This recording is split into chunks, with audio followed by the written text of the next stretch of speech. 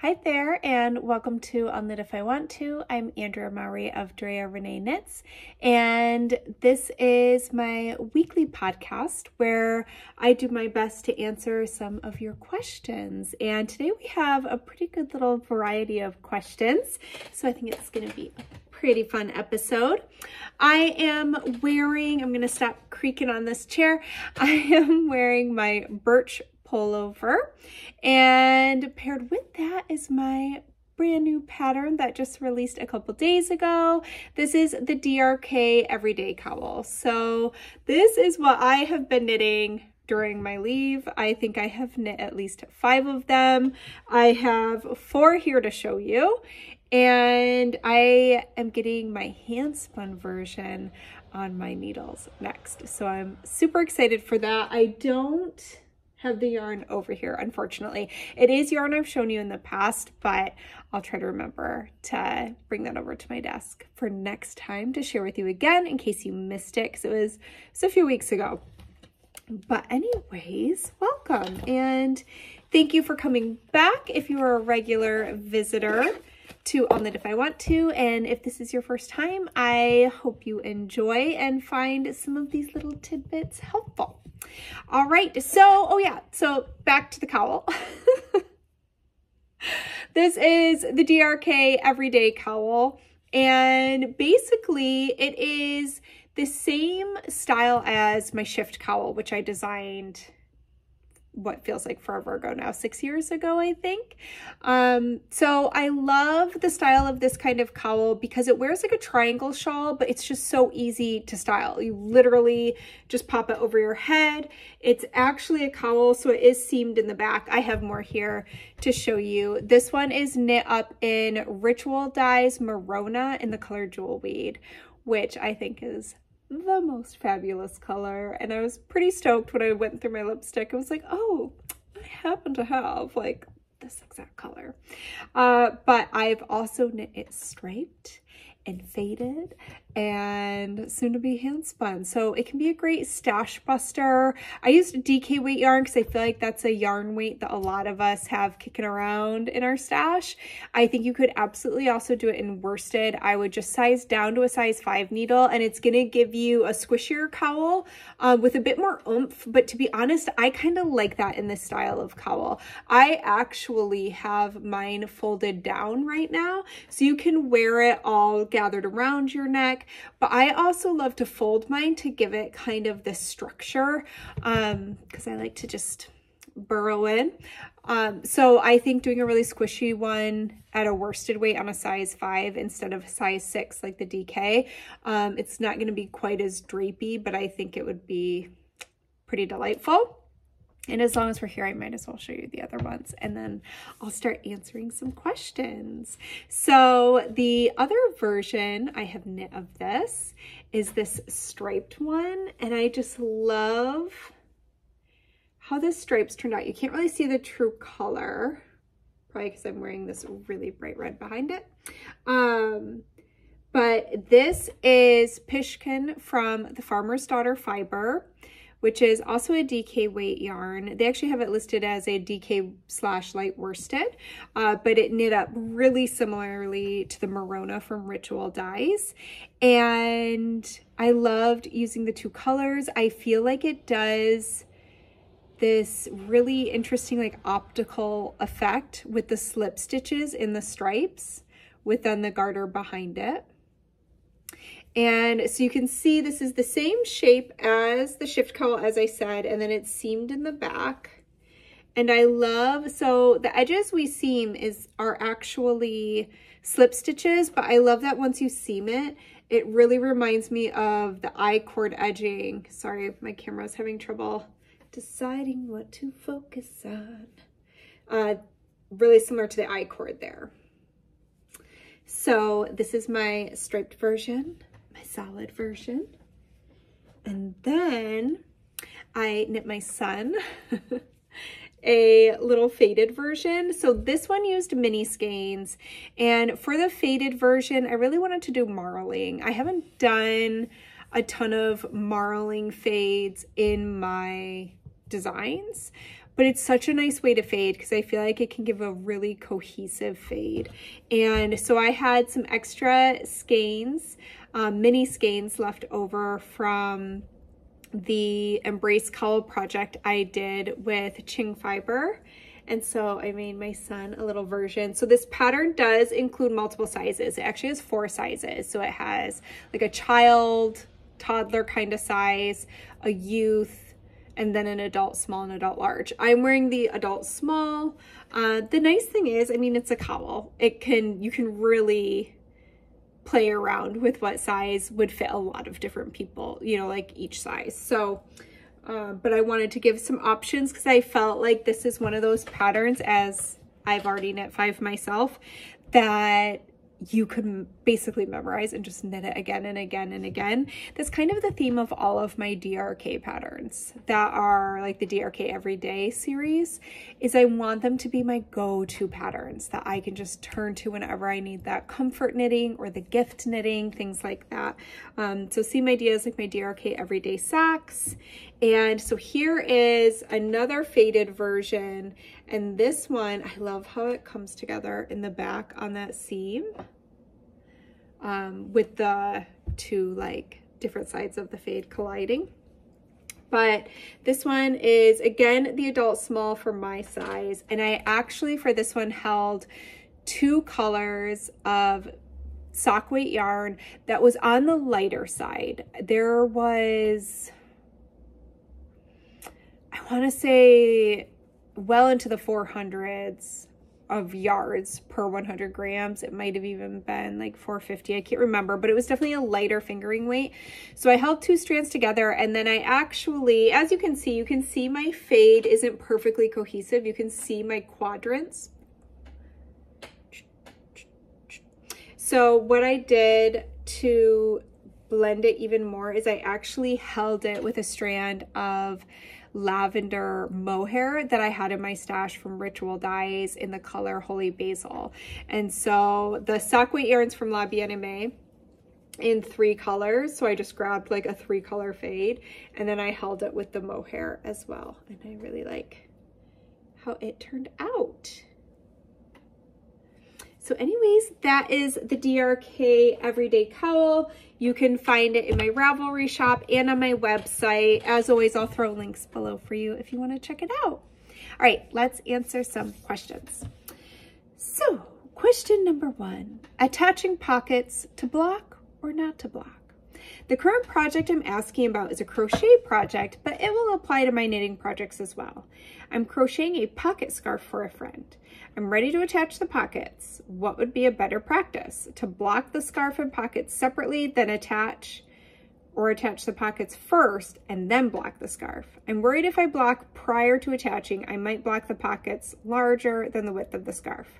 Um, I would block first. So I, before I do any kind of seaming in general, including with this cowl, I block and then seam. I just think it's a lot easier to seam those edges. You know, I'm not, I haven't done a ton of crocheting.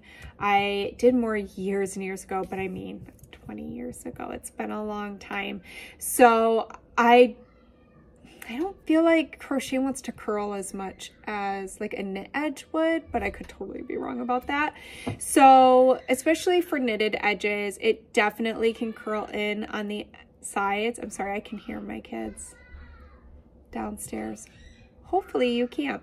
Um, so they can want to curl in on the side and I just just think it's a lot easier to seam when that's not happening. Um, I'm just gonna go ahead and just sending a little message to my husband. Okay. Sorry about that. Family life. Anyways, back to seaming. So I think it's a lot easier to seam post blocking. As far as being worried that something might grow too much, I would just block it to the exact size you want it. I mean, if it's gonna grow, it's gonna grow regardless of if you've already seamed it or not. Um, so I would just, that's when I'd pull out a ruler or a tape measure so that you're blocking it to the exact measurements you want. And whether that takes a little stretching or a little smush and padding to make sure that they are ending up the same size, um, both the end of the scarf where you're putting that pocket and the pocket itself. So that's what I would do. That's my rule of thumb at least. All right. When a designer, or this is question number two, by the way. When a designer instructs a knitter to knit, for example, two inches of ribbing, I have always assumed that meant two inches unstretched. But sometimes that amount of ribbing seems too skimpy when the garment is finished and worn. Any tips on how to deal with this? Um, so yeah, I think what I would do is I would gently stretch your ribbing. If you want a finished ribbing that is two inches in length, once we've blocked something, ribbing does open up. I mean, it's always gonna pull in a little because it's ribbing, but it will open after blocking. It won't be nearly as scrunched as when you've originally knit it. So I do think it's nice to stretch it a little bit and then measure the length because as we've talked about in past episodes, when something is stretched horizontally, it grows shorter vertically. So I do like to give it a little tug. Um, you know, at the end, it's all kind of little details. It's definitely not going to make or break your sweater. But if you really are like, I want that solid two inches of ribbing, then I would do a little bit of stretching and measuring so that you don't lose that once that ribbing opens up. But I also find that like my ribbing, show you on the bottom of this sweater too, like it doesn't lose too, too much what this is a two inch rib on the bottom here. And I actually have a measure tape. I'll measure right now and I'll see what it's like now that it's been worn a lot. I wear the sweater all the time. By the way, this sweater is Birch Hollow Fibers in the Sojourner base. I don't think I mentioned that um, earlier when I was talking about what I'm wearing. Yeah, and this is still perfectly two inches. Um, so I think that you'll find it's not going to change drastically, but I do like to give it a little stretch when you're measuring just to make sure it's as long as you want it to be. Next question is a spinning question. I am a new spinner and have completely gone down the rabbit hole. As much as I spin, I always end up making the same yarn, a two ply DK weight with low twist. I just bought a Lazy Kate so I can start doing three plies, but I am wondering what I can do to increase my twist. I always worry my beautiful colors will turn into rope. The yarns I have been attracted to recently have a lot of twist. Is there a good video that can help? So as far as a video, I'm just gonna start there. I do love Jillian Moreno's ply class that she has over on Craftsy. So I took that and I think it's a fabulous class for plying in general for your spinning. It is a ply to spin the yarn you wanna knit class. Um, so it is kind of geared towards knitters. Um, but I definitely found it really helpful and she will be able to give you much more solid advice because uh, she's an amazing spinner and spinning teacher. But at the end of the day, the only way to get more twist into your yarn is to either treadle faster so that you are letting more twist go in before it goes onto your bobbin um, or to like keep it off of the bobbin for longer to let that twist build up.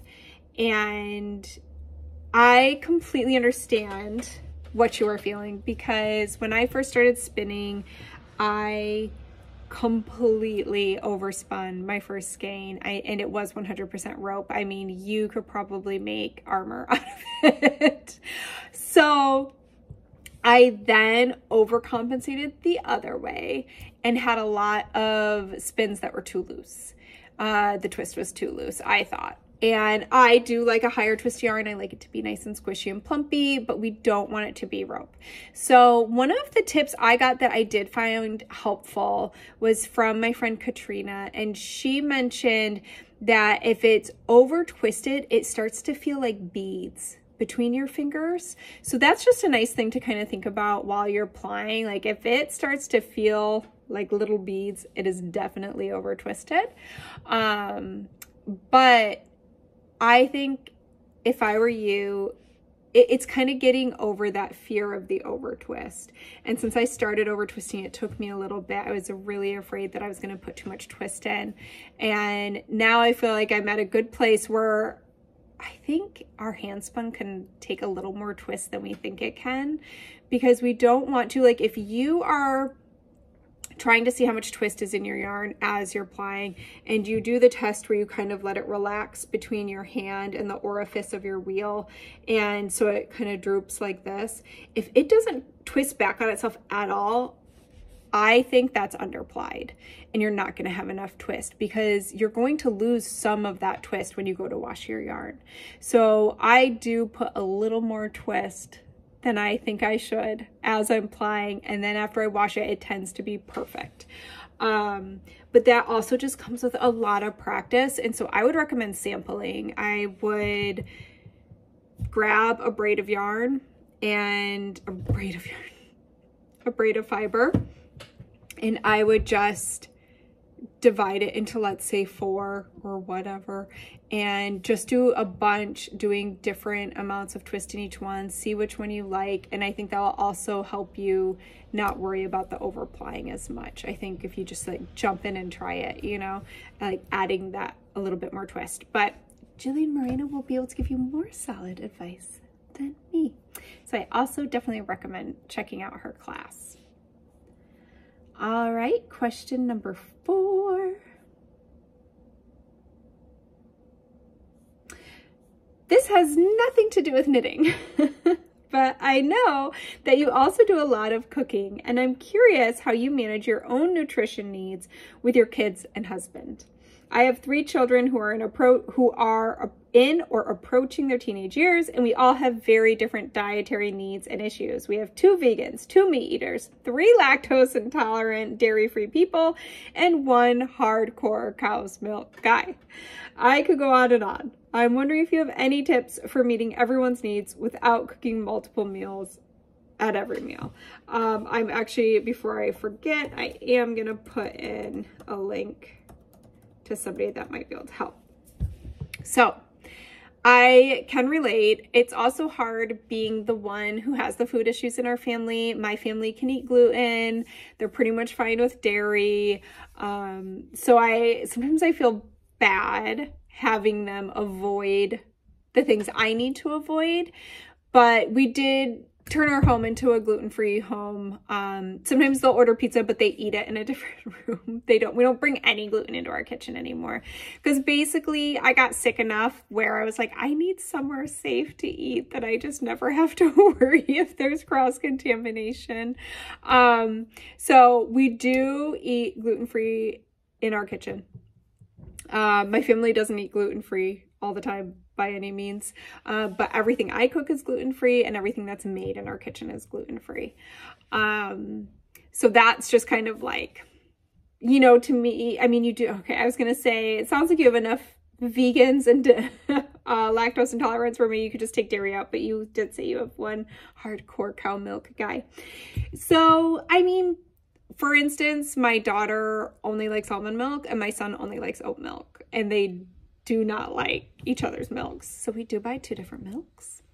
Um, so basically, it can be tricky. I try to make meals that can be broken down into components so that everyone can enjoy the components that they like or that suits their dietary needs.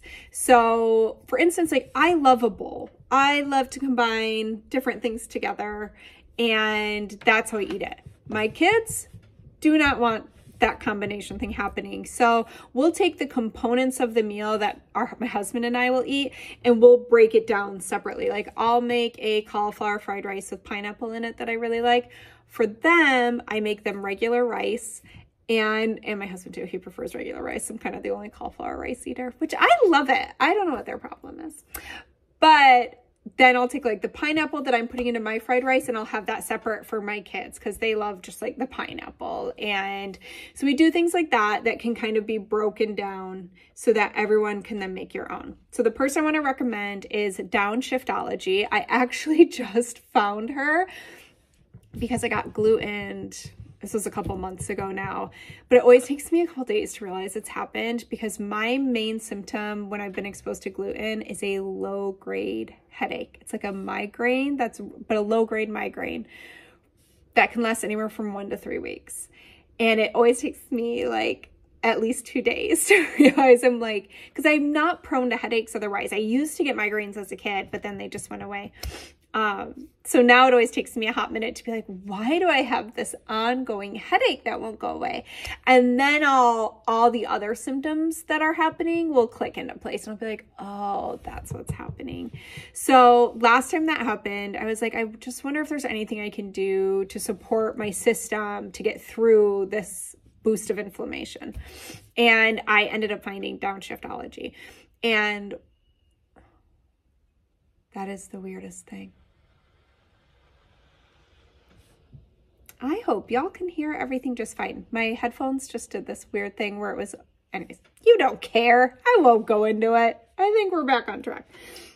So I ended up finding her because of that. She actually, she travels a ton and she has celiac and she was talking about gluten and what you can do to support yourself if you get gluten. And then I just started poking. I'm like, oh, she's a food blogger and she's all these recipes. And then I found out that she actually has a massive, like multi-million following here on YouTube for her videos. I don't know how I'd never heard of her before, but she does these amazing meal prep videos that I think are some of the most useful meal prep videos I've ever seen. And basically what she does is she preps like 10 core ingredients. It's usually some protein, some hummus, and some like veggies, maybe some fruits.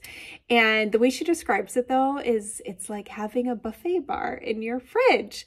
And I think that can work really, really well in a family that has differing needs. So if you can figure out the core things that you all can utilize, like maybe that is hummus and whatever veggies and fruits you can all have, maybe some grains if you do grains, whatever it is, and then just let everyone kind of combine them how they want to. I will also say our every single week go-to meal that's on every single meal plan is like a taco night because my kids will always eat like either a burrito or a taco or a quesadilla. I will easily throw together a bowl with similar ingredients.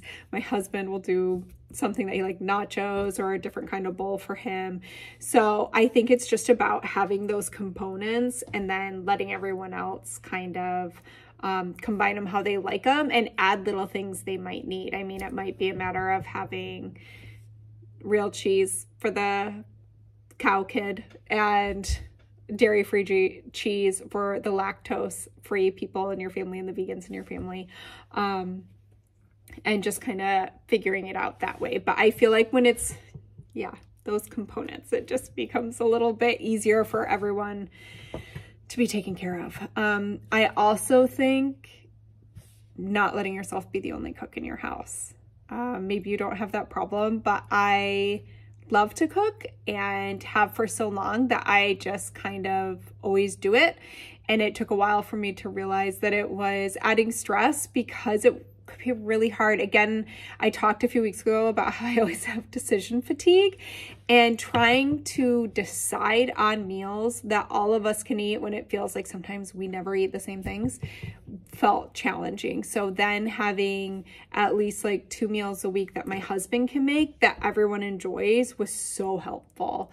Um, so I think too, I also will say I keep, you all know I love like my journals. I have a spinning, knitting, sewing. I also have one in my kitchen and I've had one for years. My best friend actually, when I moved to New Zealand back when I was like 20, gave me this little spiral bound notebook and it just had some recipes in it that she found and it was actually when I was vegan it was plant-based and so she put in a couple recipes that she'd found she hand wrote them in there and I have had a little recipe journal in my kitchen ever since. And whenever I find a recipe that everyone can eat and enjoy in my family, it goes in the journal. So that's one of the main things I reference for, okay, when we're doing our meal plan. And I just meal plan at the beginning of every week. And I do think having a meal prep day on like a weekend day or whatever works for your schedule is really helpful to then get, again, those base components that everyone can kind of make their own thing out of. So I hope that helps. Um, but definitely check out Downshiftology because I, again, that just like think of your fridge as like a buffet. I just found that really helpful. I was like, oh, this is great because like I really love like this kind of style, like this bowl style, but I can use the same things to make my kids like spaghetti and meatballs, you know? So anyways, um, that link will be below if you want to check her out. She has a cookbook too. Okay, back to the knitting. Uh, ba, ba, ba, and the, okay. My question is, I am 38 weeks pregnant and hoping to join the March to May Knit Along. Yay, congratulations. And I hope you can join. Don't put too much pressure on yourself once that baby comes.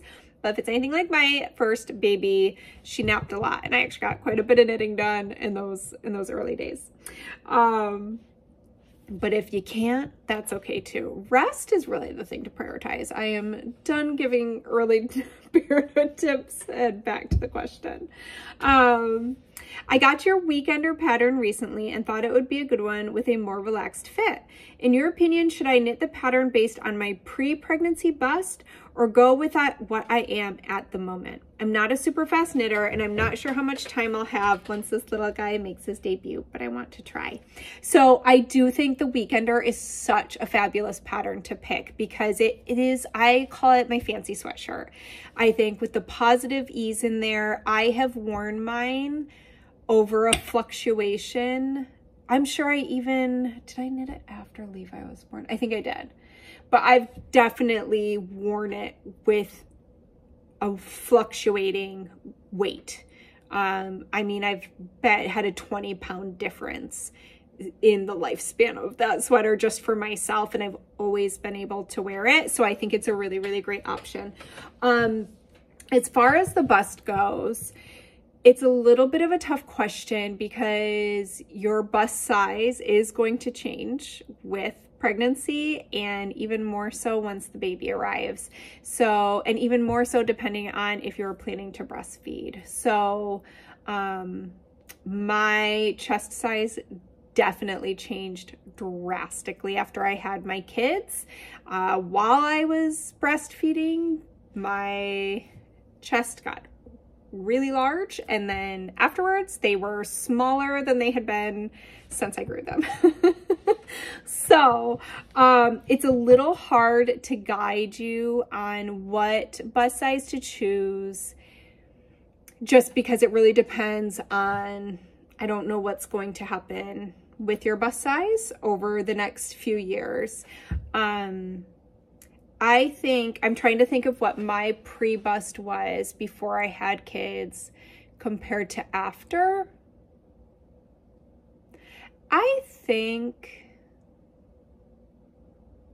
so the nice thing about the Weekender is I do think you have some wiggle room there. It is sized in approximately four inch or 10 centimeter jumps between sizes if my memory serves. And so I do think you have some wiggle room. I would either do your pre-pregnancy bust if you felt like that was pretty stable. So let's say you're like my whole life since adulthood, I've been around like this bust size, let's say 40 inches. Um, I would probably go with that size or up one. And I think you'll be pretty safe. Um, but it's so hard to say because every person is so different in the amount their body changes with having a baby and then what happens after. I mean, I've when I've spoken to my friends post pregnancy, we all had such different um post-pregnancy experiences with how our bodies changed. Uh, so again, I think the Weekender is a great one because of the fact that it's oversized. It's meant to be oversized. You know what I would almost look at now that I'm thinking about it? I would even maybe pick based on your arm measurement. So I would measure your bicep and I would see which sleeve size you would like best to fit over your upper arm. So I don't have that pattern in front of me, but you could even go measure if you any other sweaters in your closet that you really like the um, sleeve on. The Weekender does have slim fit sleeves. That's one of the things to balance out the boxiness of that sweater and the body of that sweater. The sleeves are meant to fit a little more fitted. Um, so, but I would give yourself a couple inches of ease. Maybe two inches of ease might be nice. Uh, around the fullest part of your arm, which generally is around our bicep. Um, and I would maybe use that because I think if it fits you really nice in the sleeves, the body's going to drape. The thing about the shape of that sweater is it's looks like a box. Uh, but when you put your arms down, the fabric falls and drapes in a really, really nice way. Um, so that that is actually what I think my suggestion would be is maybe base that on the sleeve size yeah, that's that's what I'm gonna go with. Uh, but congratulations. I hope that you have a wonderful labor experience and that you and baby are healthy and happy. And we would love to have you over in the knit along for as much or as little as you can make it there. All right, let's do a little bonus question this week. Where did the name Drea Renee Knits come, come from? and what is the inspiration story behind your company name. So it's not that exciting. so my name's Andrea Renee. So when I lived in Austin, Texas, my friends all called me Drea and I think I started like my Instagram and stuff shortly thereafter. So Drea Renee and I knit. so Drea Renee knits. And you know, when I started this, I didn't think it was going to become a real business. I was just like, I'm going to try and sell a couple patterns. I don't know. And so I didn't expect it to be what it is today. Maybe I would have put in some more thought into the name if I had known where it would lead, but it very perfectly describes my business because it's me and I knit and I try to create knitting patterns that you all will love. So that's that's it. That's the story behind my um, my business name. I will say a funny little story is when I was in about second grade, my, I don't know which of my parents it was, it was probably my dad, said that originally I was supposed to be named Renee, not Andrea. And then at the hospital when my mom had me, she had a last minute, like, no, we're not naming her Renee we're going to name her Andrea. Renee can be her middle name. So I had this little bee in my bonnet as, how old are you in second grade? Like six? that or seven. I was like, I was meant to be a Renee. And so I told my entire class and my teacher that my name was Renee and that is what they should call me. And nobody knew about this until my parents went in for conferences. my teacher was like, well, Renee. And they were like, who? so be careful what you tell your kids. Um, so anyways, Drea Renee Knits is me. But I guess that is all. I hope you check out my newest pattern. If you knit one, let me know how it goes. I hope you love it. I hope you knit a few of them. And most of all, I hope to see you back here next week. I hope you found this helpful. And my last hope, because I just seem to be full of them today, is I hope you get to make something this weekend, whether it be in the kitchen or on your needles or making memories with the people you love. I hope it's a good one and I'll see you later. Bye.